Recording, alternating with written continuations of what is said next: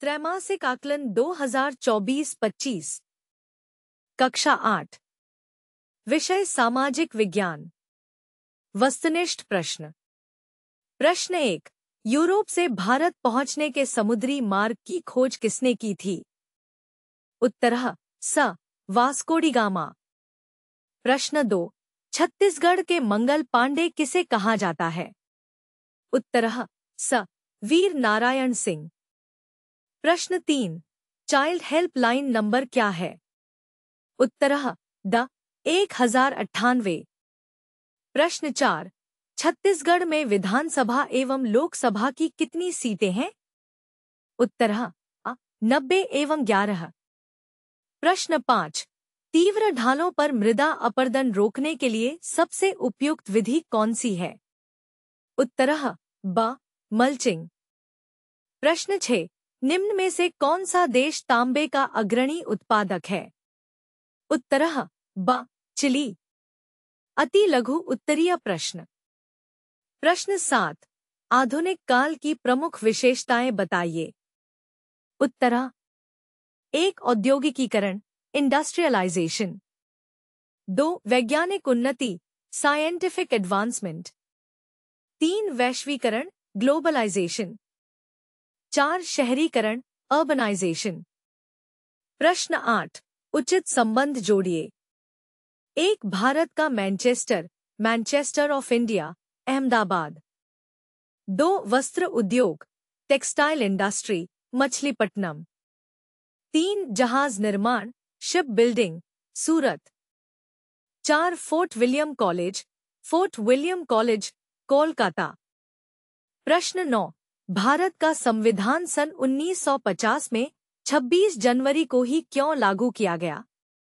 उत्तरा भारत का संविधान 26 जनवरी 1950 को इसलिए लागू किया गया क्योंकि यह दिन भारतीय स्वतंत्रता संग्राम के दौरान महत्वपूर्ण था। 26 जनवरी 1930 को भारतीय राष्ट्रीय कांग्रेस ने पूर्ण स्वराज, पूर्ण स्वतंत्रता की घोषणा की थी। इस ऐतिहासिक महत्व के कारण भारत के संविधान को लागू करने के लिए यही दिन चुना गया, जिससे भारत एक गणराज्य बना और औपचारिक रूप से एक संप्रभु राष्ट्र के रूप में स्थापित हुआ।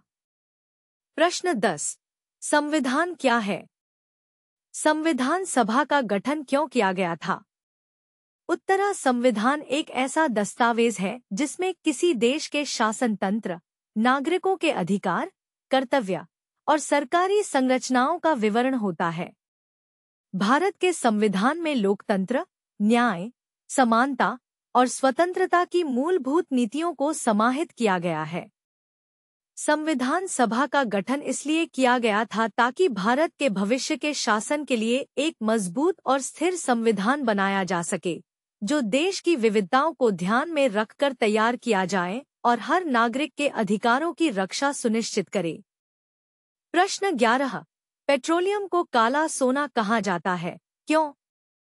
Why is petroleum called black gold Uttara, petroleum को काला सोना कहा जाता है क्योंकि यह बहुत ही कीमती और मूल्यवान प्राकृतिक संसाधन है। इसका रंग काला होता है और इसकी आर्थिक और औद्योगिक उपयोगिता बहुत ज़्यादा है। यह कई उद्योगों में उपयोग होता है और इसके बिना आधुनिक जीवन की कल्पना करना मुश्किल है। इसके अलावा, पेट्रोलियम से कई उत्पाद जैसे पेट्रोल, डीजल, प्लास्टिक आदि बनते हैं, जो जीवन के हर क्षेत्र में आवश्यक हैं। प्रश्न बारह, जल संरक्षण के तरीके बताइए। What are the methods of water conservation Uttara जल संरक्षण के प्रमुख तरीके निम्नलिखित हैं। एक वर्षा जल संचयना वर्षा का पानी संरक्षित करके उसका उपयोग किया जा सकता है। दो, सिंचाई में टपक सिंचाई विधि, टपक सिंचाई में पानी की बर्बादी कम होती है। तीन, पुनर्चक्रण और पुनः उपयोग जल का पुनर्चक्रण और पुनः उपयोग करके उसकी बर्बादी को कम किया जा सकता है। चार, चेक डैम का निर्माण, यह जल प्रवाह को रोककर उसे संरक्षण करता है। पाँच, वृक्षारोपण पेड़ लगाने से मिट्टी में पानी का संरक्षण होता है। प्रश्न तेरह, मौलिक अधिकार से आप क्या समझते हैं? मौलिक अधिकारों के नाम लिखिए। उत्तरा, मौलिक अधिकार वे अधिकार हैं, जो प्रत्येक नागरिक को संविधान द्वारा प्रदान किए गए हैं और जिनकी रक्षा करना सरकार की ज़िम्मेदारी है। ये अधिकार लोकतांत्रिक समाज में हर व्यक्ति के गरिमामय जीवन के लिए आवश्यक होते हैं। भारत के संविधान में छह मौलिक अधिकार शामिल हैं। एक, समानता का अधिकार। दो, स्वतंत्रता का अधिकार। तीन, शोषण के विरुद्ध अधिकार। चार, धार्मिक स्वतंत्रता का अधिकार। पाँच, संस्कृति और शिक्षा संबंधी अधिकार। छह, संवैधानिक उपचारों का अधिकार। प्रश्न चौदह, डलहौजी की हड़प नीति पर प्रकाश डालिए। उत्तरा, लॉर्ड डलहौजी की हड़प नीति, डॉक्ट्रिन ऑफ़ लेप्स। एक ऐसी नीति थी जिसके तहत बिना उत्तराधिकारी वाले भारतीय रियासतों को ब्रिटिश साम्राज्य में मिला लिया जाता था। डलहौजी ने यह नीति 1848 में लागू की, जिसके तहत जिन शासकों के पास जैविक पुत्र नहीं होता था उनकी रियासतें ब्रिटिश सरकार के अधीन हो जाती थी।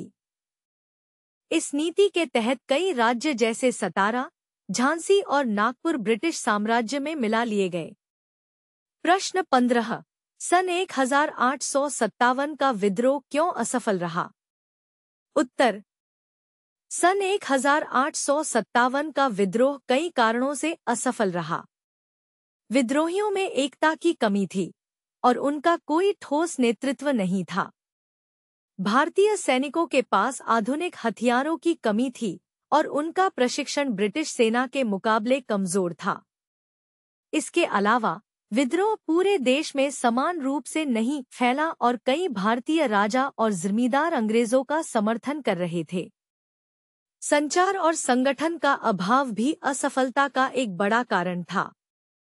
प्रश्न 16 राष्ट्रपति के चार महत्वपूर्ण शक्तियों के बारे में लिखें। उत्तर, एक, विधायी शक्तियाँ राष्ट्रपति संसद के सत्रों को बुलाने, स्थगित करने और नए कानूनों को मंजूरी देने का अधिकार रखते हैं। दो, कार्यकारी शक्ति, राष्ट्रपति केंद्र सरकार की सभी कार्यकारी शक्तियों के प्रमुख होते हैं। तीन, नियुक्ति शक्तियाँ राष्ट्रपति प्रधानमंत्री उच्च न्यायालय के न्यायाधीश और राज्यपालों की नियुक्ति करते हैं। चार आनुपातिक शक्तियाँ राष्ट्रपति आपातकाल घोषित कर सकते हैं, जब देश में आंतरिक या बाहरी संकट होता है। प्रश्न सत्रह, आप घर पर कौन कौन से तरीके से ऊर्जा बचा सकते हैं? उत्तर, घर पर ऊर्जा बचाने के कई तरीके हैं।